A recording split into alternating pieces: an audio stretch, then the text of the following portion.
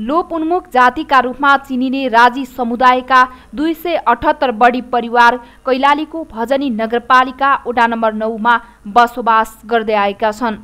ओडा सदस्य पदमा आफ्नै जातिबाट जनप्रतिनिधि समेत रहेका सो समुदायले एक वर्ष अघिदेखि नै बस्तीको बाटो निर्माण गर्न नगरपालिकालाई आग्रह गर्दै आएका थिए तर सो ठाउँका लागि यो वर्ष पनि बजेट नदिइएपछि बर्खा अगावै निर्माण गर्ने गरी आफूहरू बाटो निर्माण गरिरहेको स्थानीय सुशीला राजीले बताउनुभयो।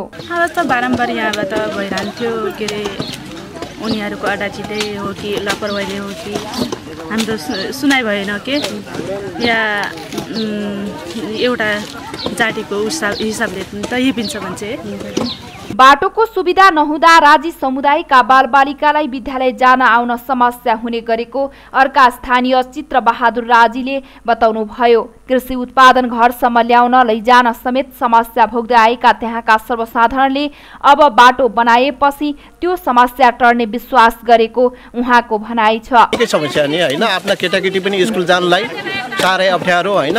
उनीहरू उनीहरू चाहिँ अब त्यो किसिमको चाहिँ अब सहज तरिकाले पढ्न पढ्न लेख्न जानु पाउँदैन थिए होइन? अहिले चाहिँ अब केही नै भए पनि हामीलाई राहत पुग्छ।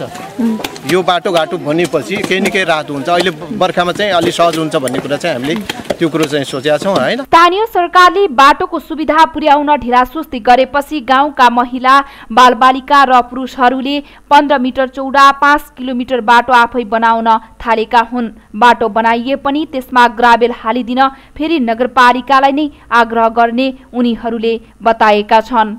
सविता बुढा बिटिभी समाचार भजनी।